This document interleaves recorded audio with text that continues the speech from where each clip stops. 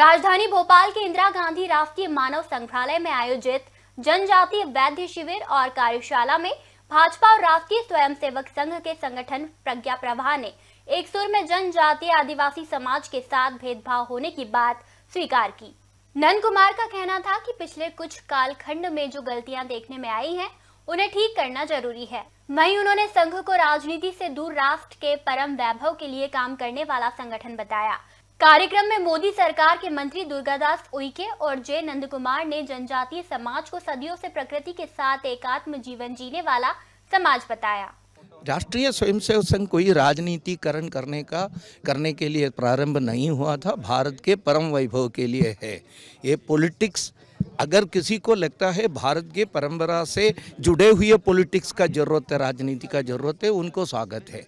लेकिन राष्ट्रीय स्वयंसेवक संघ का अप्रोच एक समग्र अप्रोच है कॉम्प्रहेंसिव अप्रोच है। उसमें पॉलिटिक्स एक हिस्सा मात्र है। उसमें शिक्षा भी है, उद्योग भी है योजना भी है, कृषि भी है।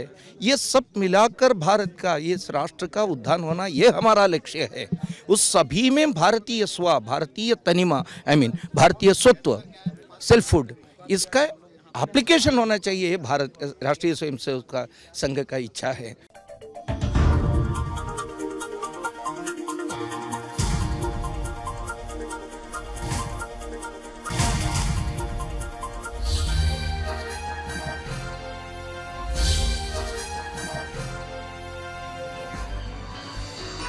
आप देख रहे हैं दखल न्यूज़।